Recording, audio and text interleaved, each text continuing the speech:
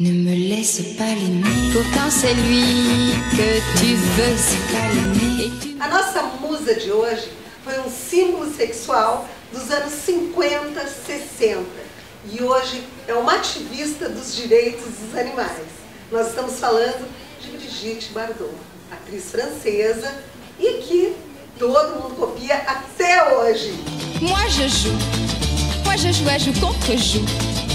Je veux jouer, je joue contre vous, mais vous, le voulez-vous De tout cœur, je veux gagner ce cœur à cœur. Vous connaissez mon jeu par cœur. É impressionante a força da Brigitte Bardot. Ela foi considerada pela revista Time como uma das 100 pessoas mais influentes do mundo da moda. Então até hoje ela é referência, não é? Quando se fala em beleza, as roupas que ela usava. É. E, e unindo a atitude, inclusive. É. Interessante. Eu acho que isso também colaborou muito para marcar essa. Ela é uma mulher acima do seu tempo, né? Ela... acima do seu tempo. E o que eu acho assim muito interessante na Brigitte Bardot é que ela hoje como ativista dos direitos dos animais, para quem ama os animais, não é? Ela passou, ela foi passou por cima de toda aquela vaidade, não é? E ela se expõe por eles. E eu acho isso maravilhoso.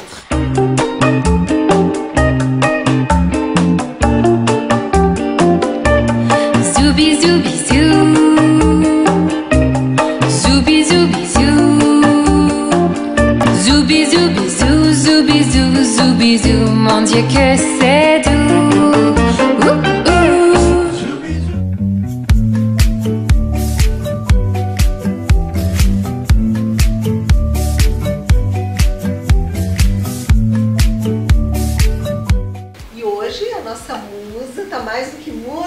Diva, a nossa Brigitte. A própria, né, cara? Pois é. O que, que vocês trouxeram de referências da Brigitte Bardot? O cabelo dela, cara, eu não poderia fazer diferente, né? Eu segui aquele clássico dela, que é esse cabelo com volume no, no alto da cabeça, com muito volume no alto da cabeça, e um cabelo com movimento, né? Essa franja Hum. longa, mais caidinha um pouco no rosto. O, o top mesmo do cabelo é o volume no alto. Gilson, Foi o que marcou a coisa. época, marcou. É uma marca nela esse cabelo, né? Hoje em dia existem recursos para fazer esse volume, porque existem Sim, aqueles preenchimentos, tem não preenchimento, é? exatamente. Ah, esse penteado que ela usava, ele está muito atual nos dias de hoje, Muito não é? Ele serve para um casamento, para uma festa de ocasião. gala. Se ele está Exatamente. mais baixinho, ele vai para qualquer ocasião, não é? Exatamente. Até na nossa modelo hoje eu fiz ele já bem exagerado Claro, mesmo. porque Justamente para reproduzir mesmo, para fazer bem dúvida. o estilo. Mas ah, dias de festa, assim, que as pessoas buscam esse estilo lá do Gifador, como a gente chama, geralmente a gente faz um pouco, um pouco mais comportado, um pouco mais baixo, às vezes com um detalhe com uma trança na lateral, aí varia um pouco. Até porque né? essa franja, ela dá aquele ar de sensualidade, aquela coisa mais E ao menina, mesmo não tempo é? descontraído também, exatamente. E é um cabelo que é extremamente elegante. né?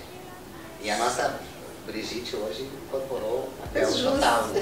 A cor do cabelo colaborou, tudo ficou. Com certeza. E falando agora da maquiagem da Dani, que não poderia ser diferente, né? O olho ficou idêntico. Pois é, Dani. Vamos ao olho, que era uma das marcas registradas dela, não é? Sim.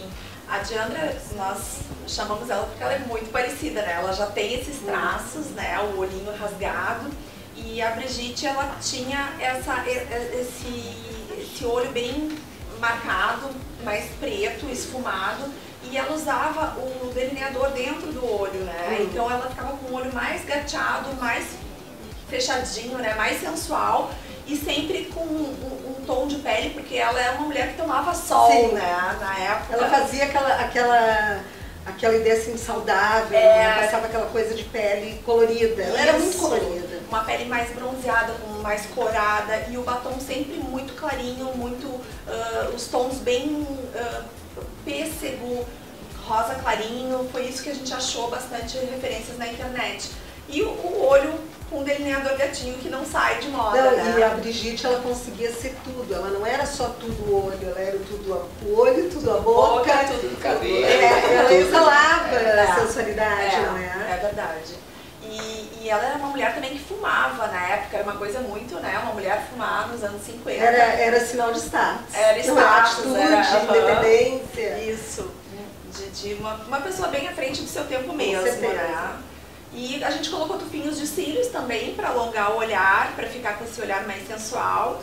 E era isso, ela ficou linda, eu, nós adoramos fazer a Diandra. Aqui tem algum modelo. aplique, Gilson? Não, nesse cabelo não tem aplique, é todinho dela, todinho natural. Aqui É. o, o bom Foi e só feito um na raiz, o desfiadinho na Hum. raiz que é para dar o volume, né, que é o que se fazia na época. Né, e hoje Claro. a gente pode usar os recursos de, de preenchimento para dar mais volume também. Mas isso aqui é bem fácil de fazer esse, e dar esse efeito super Maravilhoso, parabéns pelo trabalho. Estou curiosa para ver Obrigada. semana que vem. E a a nossa diva de hoje foi nada mais, nada menos do que a atriz francesa Brigitte Bardot. Croyant que nous sommes ensemble un peu fâchés d'être tout de séparés.